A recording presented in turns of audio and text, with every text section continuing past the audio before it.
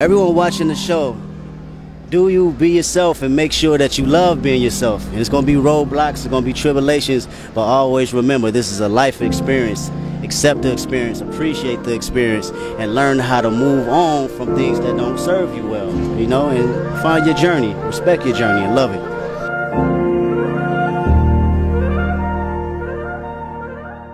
In my community, I'm 31, so I'm a leader now. I got young homies that grew up looking at me all my moves. They seen it. You know what I mean? They seen me at six, seven years old. They was looking out their window. We was outside. They came outside when they was 10, 11. They remember everything. So they got the most profound understanding of the transition. These dudes are chefs. They still bangers. But are you been having a passion to cook this whole time? Damn, that's crazy. Niggas would have never known. But, oh, I rap. It used to be held against me that I rap. I used to have to fight more than niggas because I rap. You feel me? I used to have to react with more vicious because I rap. It was like a mark against my manhood at the time. Like I ain't I ain't I ain't a full time banger because I go to the studio. That pressure stopped a lot of people from pursuing their passions. So by you know, I went through a lot for that. You feel me? I went through extra fights, all type of shit, just because I wasn't gonna let niggas scare me out of my passion.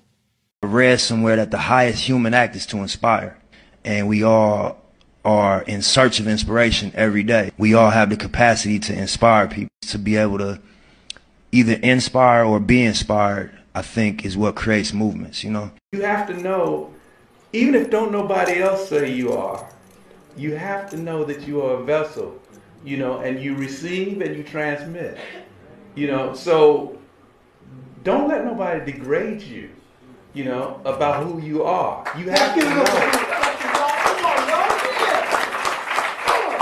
So you gotta really pay attention to things around you and things that come through you because you never know how the one is using you. I didn't know at that time what was going on, but I paid close attention because I knew I was a vessel.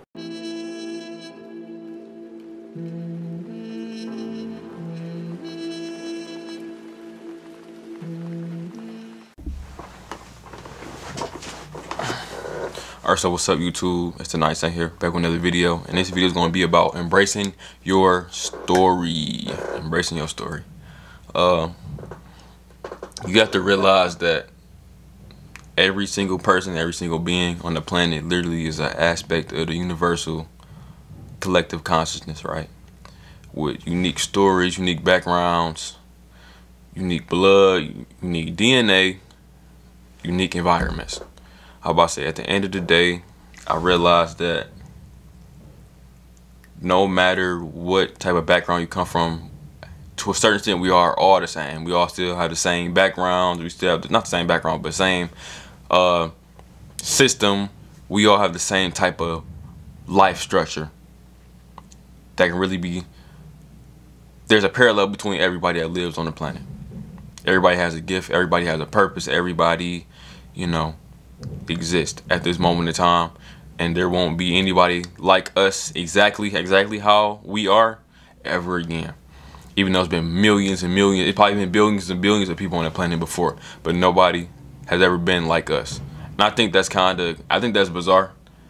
Do i believe it to be true all the way? Not all the way. I believe it's somebody has been like me of course not with the name kevin downer but i think that spirits have like archetypes, especially like positive and negative spirits. They have archetypes, and then it's a group of people that's like this.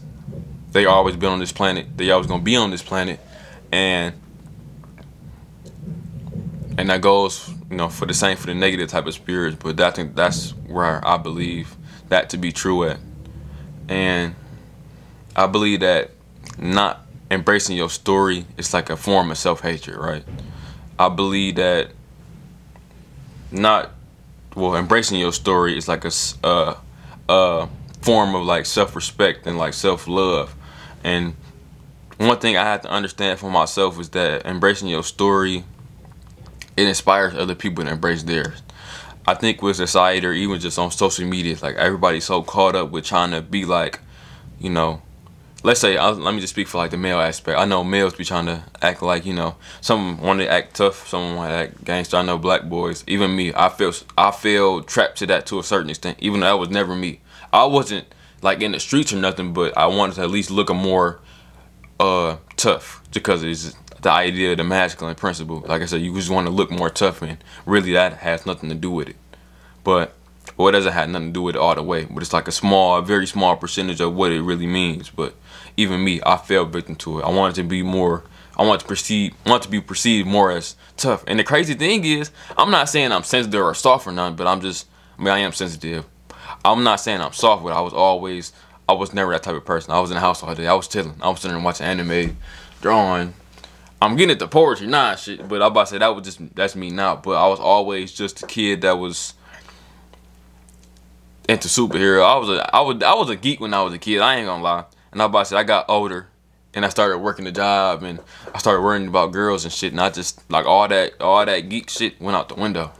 Like and I and I'm kind of sad that it did because I was always that was really who I was at the you know, and I still am. Like I said, I, I I'm getting back into it slowly, but that's who I was. I I couldn't run away from that. I never wanted to intentionally. It's just you know, when you get into environments where you know you're com in a sense it's competing. It's like when you're in school, it's a matrix. Of course, you're trying to.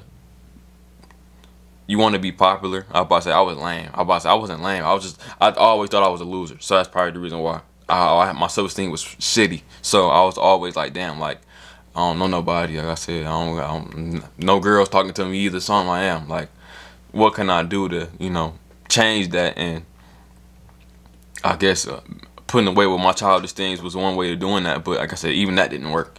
I mean, of course, as I got older, and you know, the internet helped that a little bit. The internet is make everything, make everybody alike, and I and I think I like that, but I hate it at the same time. It makes people embrace everything, but now everybody's like the same person, and to a certain extent, we are. Like I said, you are a part of like the universal, you know, collective consciousness, but it makes nothing unique anymore, to a certain extent and that's where the embracing your story is like some people are just some people and some people are very eccentric and some people are very shy. Some people are very loud and that's just who they are. And by not being who you are you are like minimizing your light. Everybody is who they are and who they meant to be. But through societal pressures we always shape shifting you know trying to fit inside this box for acceptance because because we fear rejection really. About I fear rejection from my own family. And I'm about to say and and never it was never even stated that I, you know, should feel reject or have a fear of rejection. is just something that you pick up subconsciously from just you know micro behaviors or you know you just pick it up unconsciously. You don't notice you're doing it, but you are. Like that's how kids learn to lie. It's like they don't. Nobody may not lie to them, but it's just the these emotions push you to think a certain way, and in a certain way provoke these type of beliefs. Let's say as a parent or you know a kid stole something. Let's say this, let's go back to your kid self and you you took something. You probably ate it and then you lied about it. I'm about to say you lied about it just because you didn't you didn't want to make your parents upset or you was you feared whatever they had to respond back with and then you start to feel these feelings of rejection when you know they find out the truth and then they tell them they tell you how disappointed they are and that's just one way of just how how rejections causes an individual to really start to, you know, get comfortable with lying and just changing how who they are to, you know, fit a narrative or fit a or keep the peace. So yeah, so to me now, I guess since I got a little older and I matured a little bit more, I said I uh, matured a little bit more. Uh, I realized that embracing your story, embracing who you are is a as a way to really, you know, love yourself, but also it shows others the blueprint to, you know, being themselves. It it it, it gives space for people around you to really be themselves. And it's like, a, in a sense, it's like a trickle effect. When you stop trying to like kiss ass and you stop trying to, you know, be somebody else for people around you and so you start to be yourself raw, it's like it inspires people to be themselves. It inspires change. It inspires people to have some boldness and some courage to really live life the way that they want to live it. Like, and it's beautiful to see. Like I, am about to say, I see this in everybody around me. I, I, of course, I try not to allow my ego to get too big because you no because you can when you doing better with your life and when you changing, you genuinely see how people re receive you differently. You see that the people that's around you they change. Either they get better or they get bitter. And some people they see you doing well. Like I said, it's like a. I know people be saying competition is bad. I don't believe it to be bad. I get why they say it, but if I had more friends that was close to me, I will. I'm competitive like that. Not in a bad way, but it's just you know.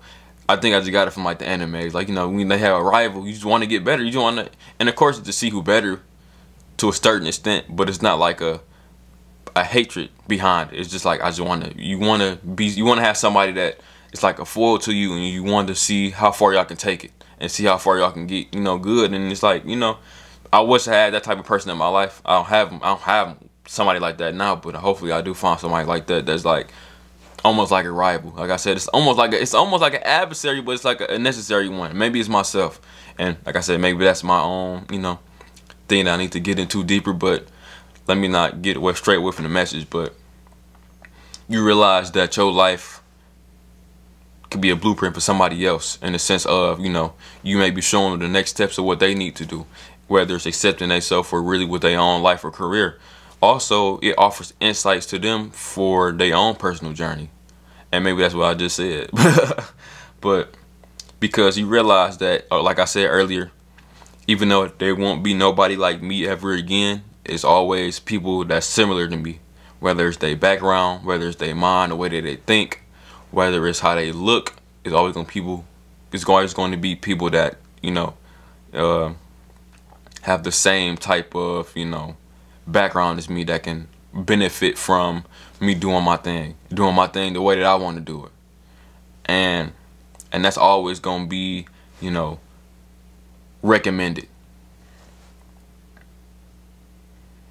I think social media make people feel ungrateful for their own lives. Like we see people with the with the beautiful, the nice things on, and the flashy things, and the and the you know, the the woman on their arm or even just the reverse, you know, you know, like women with like the nicest things and I bust and I think that makes us be ungrateful for what we have. And of course, I about to say, of course, it's a reality factor to that. Like I said, some people really just be dirt poor. They never had anything. And they start to become consumers and they start become very, you know, capitalistic and just greedy. And I'm about saying thing about it is, it's like, whatever path you go down, especially with anything materialistic, is like a losing path. Especially if you're not yourself. It's like you can you can get all that and then you realize like I'm I'm still not whole. And a part of that embracing your story is that when you embrace your story, you become whole again. I, and I spoke about this in like an earlier video I had a long time ago. Is that when you become whole, like I said, there's nothing else you can do no more. It's nothing. It's nothing outside that can really satisfy you when you know you learn to satisfy yourself and satisfy your heart satisfy your heart and your mind and just your being like i had to get that i about to say i'll be every now and then i fall into like these materialistic traps where i'm like dog like i, I don't let's say i may not have something right now or i'm in this stuck position and oh and i'm upset that i'm not where i want to be at but i gotta realize that you know if i was there right now i was probably more than likely i it'd be a it'd be an advanced emotion that i'm feeling but it would all stem from the same thing. You're just feeling ungrateful or feeling inadequate. And if, you never retain those emotions now, while you don't have it, when you have it, it's not going to be worthwhile anyway. So, yeah. So I would definitely say learn that racial story. Like I said, there's nobody that's ever going to exist like you ever again in your life. And I mean that, I'm about to say. And appreciate it. Like I said, it's just, you know, and appreciate that in other people as well always appreciate people's and not people's. I'm, I'm sounding so ignorant. Appreciate other people in your life, especially the more genuine people in your life. You will not ever meet somebody like them ever again. And just to get spiritual for a little slight second, you got to realize that